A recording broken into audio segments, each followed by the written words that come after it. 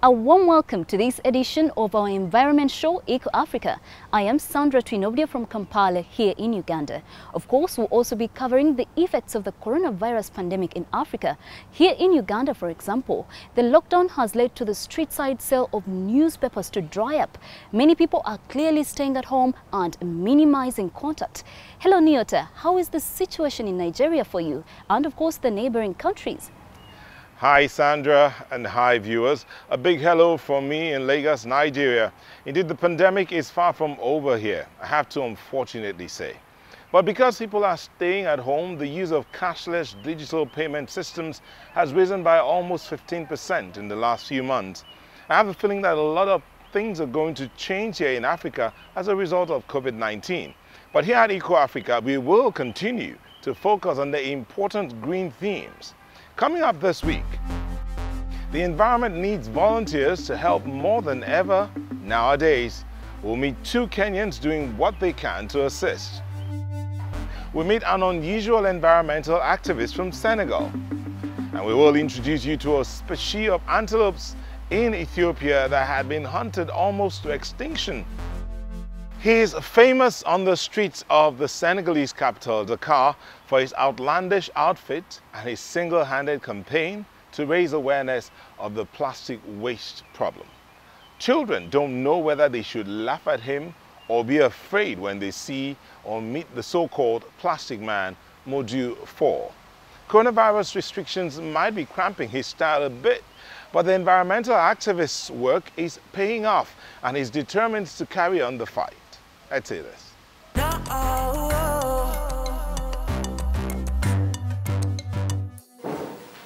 Modou Fall has had to change tack in his fight against plastic waste. With the world in the grips of a pandemic, his only tool right now is his smartphone. But that's not likely to draw nearly as much attention. This is what usually looks like Modou is Senegal's most renowned anti-plastic campaigner. For more than 15 years, he's been going around schools, neighborhoods and markets like this one in Dakar and swapping plastic bags for paper ones instead. While some people are put off by his unusual appearance, he usually gets his message across.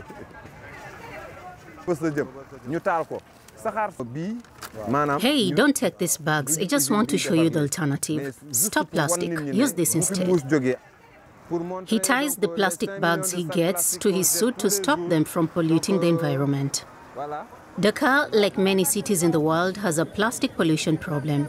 Around 10% of Dakar's waste is plastic based, and most of it ends up in the streets. Modou Fall doesn't hesitate to engage people in conversation.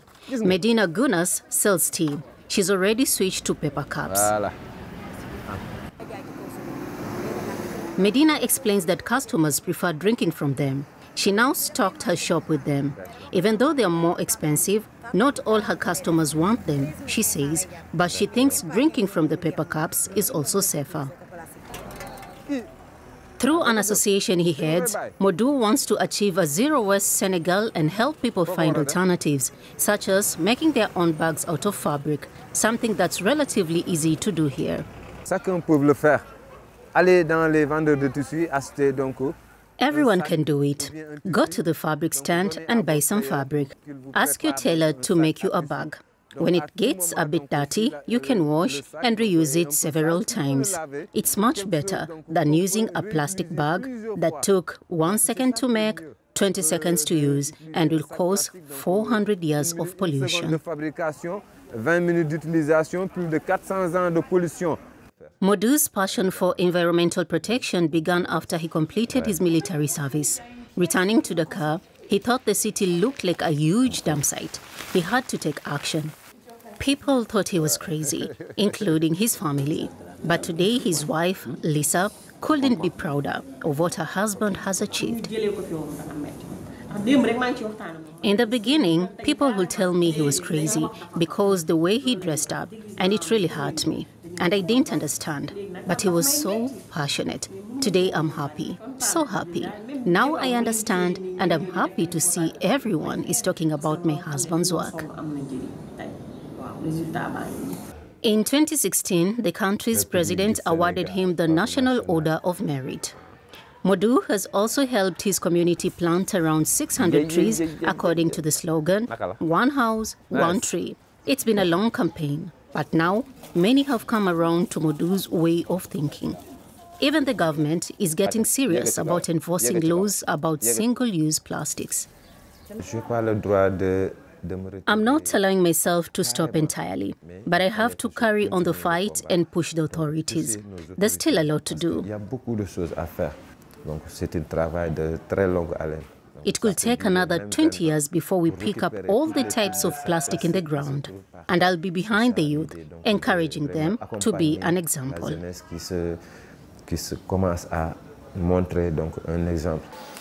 Once the coronavirus restrictions are lifted, Modou will be able to continue his work in earnest.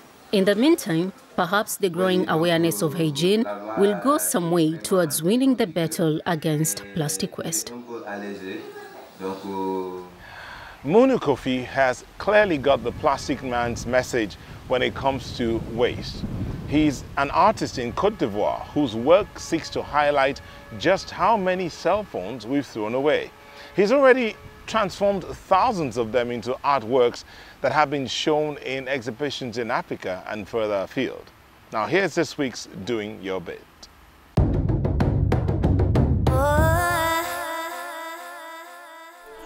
It's not easy to make a splash in the art scene, but Ivorian Mounou Désiré Koffi has done it. His works are unique and arresting. And they give new purpose to discarded cell phones. I integrate old phones into my work to give them a second life and to draw attention to the fact that our lives are so intertwined with technology. We're so digitalized. That allows us to be connected, but we should also consider the environmental impact. Mounou gets old phones from several sources. What he can't use, he passes on to recyclers. After breaking them up, he glues pieces onto canvases like mosaic tiles. In two years, Mounou has used parts from around 24,000 phones. His works have made him a prominent contemporary Ivorian artist. And how about you? If you're also doing your bit, tell us about it. Visit our website or send us a tweet. Hashtag doing your bit. We share your stories. The amount of garbage produced here in Lagos hasn't really been reduced, despite all the many ideas and initiatives aimed at avoiding, processing or upcycling waste.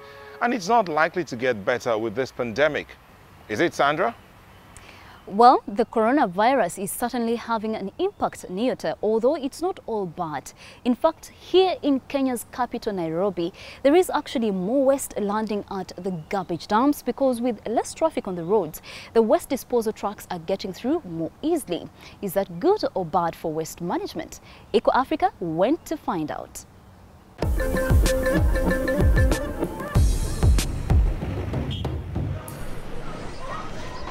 In the middle of a Nairobi residential area amidst the coronavirus lockdown.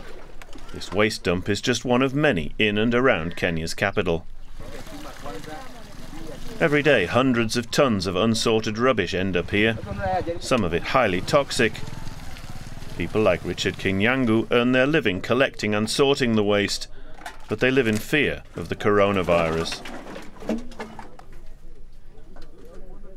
Sasa unaona hawa watu mia tatu wote kitu kikuja pale wataenda wachagua. There are 300 waste pickers here. Wakienda kuchagua ile labda corona iko wapi? If they touch contaminated waste, they won't wash their hands. They'll do it in the evening at home, but by then they'll have already contracted the disease. Sasa unaona hiyo corona itakuwa imeshamwingia. The volume of trash hasn't lessened despite the coronavirus lockdown. Nairobi's roads are less crowded right now, so the Municipal Waste Authority can deliver more waste to the dumps than before the crisis, some 3,000 tonnes a day. But the collectors aren't in any more danger than before, according to waste management official Ibrahim Otieno. Because of the lockdown, they might be required to leave the final disposal early uh, than normal. Uh, people that do waste picking, eh, they also become careful. They're using now gloves and PPEs. Eh. But the lockdown means there is less commercial waste reaching the dumps. meaning less valuable waste that can be recycled. And a lot of supermarkets have gone over to handing out disposable masks and gloves to their customers. Some of that lands on the dumps or on the streets. So the pandemic has increased the amount of medical waste. And that increases the risk of infection, says Daniel Paffenholz. He runs one of Kenya's few recycling operations. A lot of mouth masks, gloves, hand sanitizers, and that waste um, ideally should be kind of treated as more dangerous waste and should ideally be incinerated. So the government has been pushing a lot for that waste to be incinerated. So we're expecting that there'll be some legislative changes and basically stricter codes or uh, rules for how that kind of waste is generally managed. Cities like Nairobi were already struggling with massive environmental problems. The corona crisis has only made matters worse. Low and middle income areas don't even have waste collection systems in place. What is really needed is a complete shift away from that model, and that ideally waste doesn't go to dump sites in the first place, but goes to professional sorting sites. From there, goes to various recycling, composting, biogas, or other reuse or recycling um, mechanisms. And then ideally then a dump site only is left to be used for about 5 to 10% of the waste that cannot be recycled. The authorities say that the massive catch-all dump sites are already on the way out. We have the Solid Waste Management Act uh, of 2015. We have MCA Act uh, that talks about and the waste regulations uh, that guides on how waste management should be done. The only thing is now to enforce and ensure that people continue to be responsible on how they manage their waste. Nairobi resident Richard Kenyangu says it's not enough to rely on personal responsibility and government regulation, that the city's environmental problems need to be addressed more quickly. By the time the government identifies infected waste pickers as a source of danger, it'll be too late. And since the neighbourhood is growing anyway, they should close this dump site permanently. Until now, Nairobi's authorities have left the city's waste pickers largely unregulated. Now the city has two challenges to solve the environmental problem and the coronavirus crisis. Many of you will never have seen or heard of a koki. Hardly surprising as it is a very rare form of antelope. Koki is what the animal is called locally in its native Ethiopia. In English, it is known as Swayne's hartebeest. In the 1990s, the subspecies were nearly hunted to extinction, but the local Oromo community banded together to ensure its survival, in part by following age-old clan traditions. Now the koki population is bouncing back. This Swayne's hartebeest spends just a brief moment resting in the shade before seeking the safety of the herd. Swayne's hartebeest are found only in Ethiopia. The largest population lives in the Senkele Sanctuary in the south of the country. An estimated 850 hartebeests live here. Almost 40 rangers tend to the antelope's safety and well-being. Chief Warden Desta Bedaso and his team want to keep the animals from going extinct. They are uh, categorized as critically endangered mammals in IUCN category so they need special attention uh, to be conserved by the international community even so.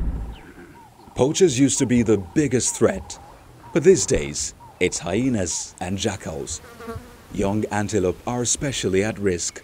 The rangers have their work cut out for them and they patrol the sanctuary around the clock and will shoot an attacking predator if need be. Their dedication is paying off this year, about half of the young antelopes survived. In the early 1990s, there were an estimated 3,500 hartebeests here. A year later, there were about 70. Poaching had become rampant, even though the traditional governance system of the Oromo people dictates respect for nature. To put an end to poaching, clan leaders agreed on strict penalties. The rangers helped win local people over to the system. If anyone uh, caught poaching the hartebeest, he will be punished as uh, he killed human being. So if someone kills the hartebeest, one hartebeest, he will be punished 100 cattle. But penalties alone are not enough to deter poaching. The antelope can only survive because the sanctuary benefits local people. They are permitted to harvest the dried grass that the antelope no longer need. It might not look like it, but the hay is a valuable resource. It's used in thatched roofs, for example. Local communities earn the equivalent of about 180,000 euros a year from its sale. People benefit from the resources at Senkele by cutting the grass and selling it. Now the resource is being protected. Unlike in the past, when people used to build houses in the park.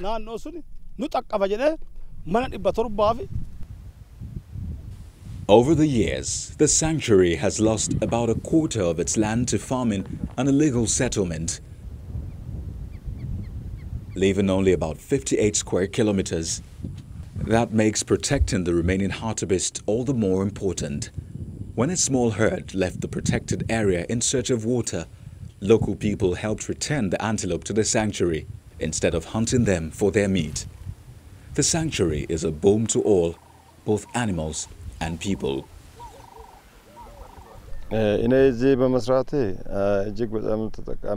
Working here and protecting the hartebeest has benefited me a lot.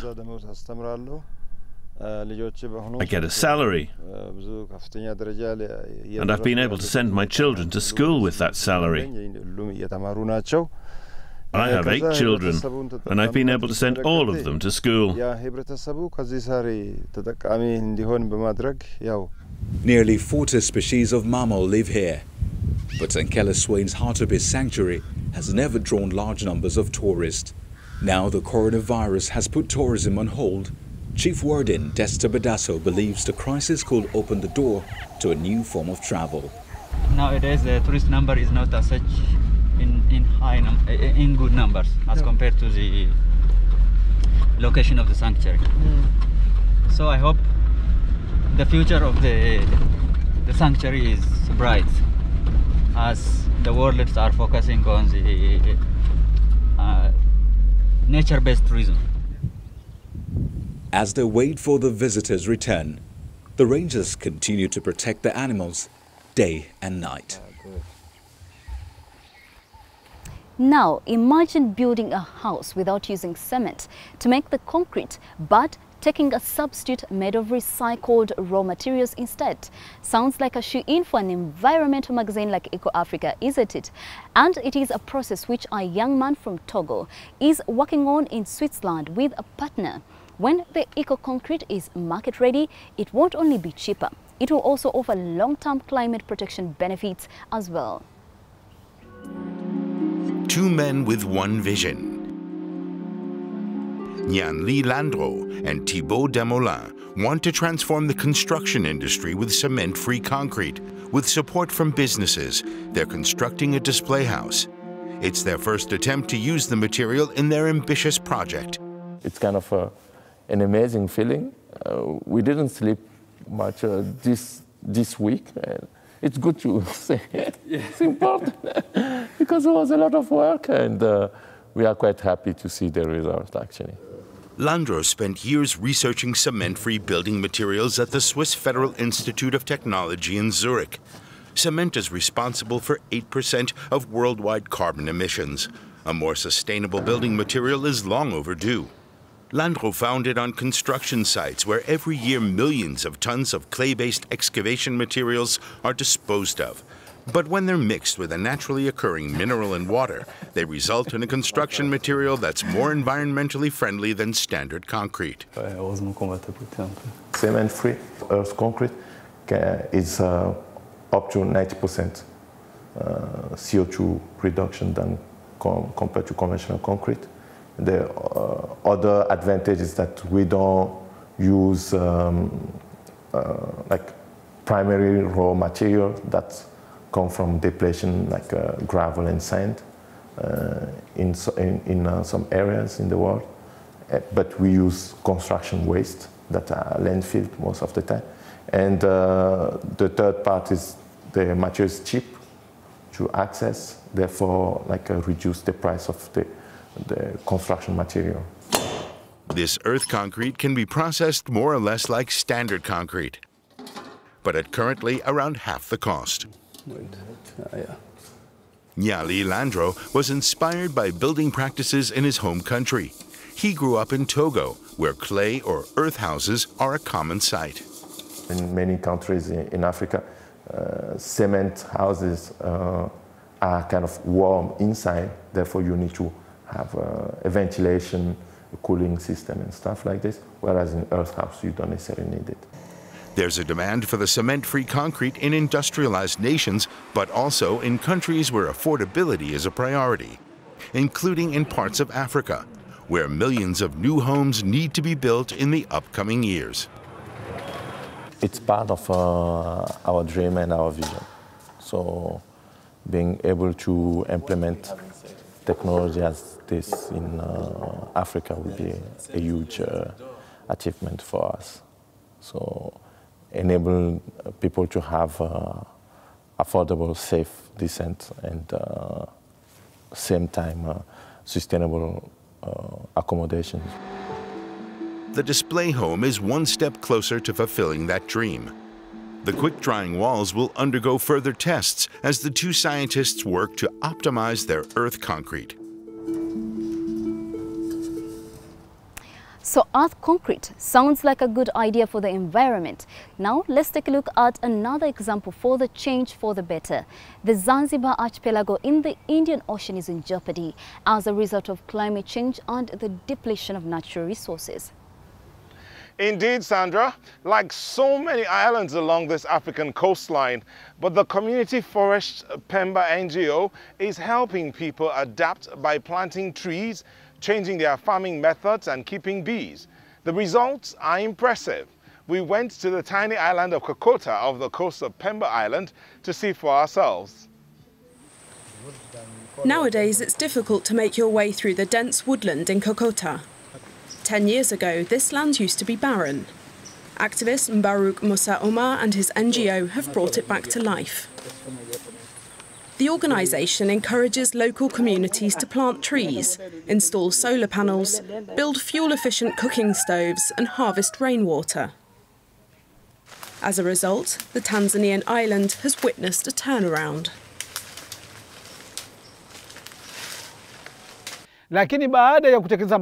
Now the community is very well versed in the issue of tree planting. Some years ago, the people of Kokota used slash and burn farming methods, leading to massive deforestation. Most rivers and the groundwater ran dry. What was once fertile soil turned to dust, and people had to import food. The organisation has planted over 680,000 fruit trees and forest trees in Kokota. To make sure that the reforestation is successful, local communities regulate felling. Among the people benefiting are beekeepers. The trees provide bees with a well protected and shady dwelling place and a source of food when they're flowering. Two years ago, Salum Kasim had just two beehives. Now he has 75.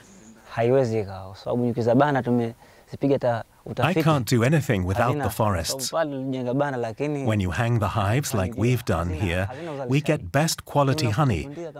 It's clean, and the bees can't be attacked by other insects.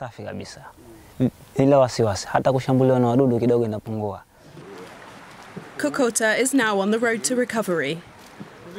But the islet of Njau, just a couple of kilometres away, is still in dire straits. Like Kokota in the past, Njau has no clean drinking water, and the land is degraded. This tree planting event is designed to help the islanders understand the importance of trees. We encourage them and help them in planting as well. Then, when the rains come, we work together with the communities when we visit them and plant trees in their areas for the purpose of ongoing conservation. The organisation's activities are funded by the European Union. The aim is to enable communities to become self-sufficient by means of agribusiness. We've come to the end of this week's Eco Africa, which featured an inspiring mix of small initiatives, big projects, and dedicated people. I am Sandra Twinobdio. Please do keep safe and join us next week. Goodbye. Thanks for staying with us, even during the corona era. The number of infections appears to be on the increase in many African countries. And just remember, when you protect yourself, you also protect your environment. A heartfelt goodbye from me as well in Lagos, Nigeria, and do stay healthy. See you again.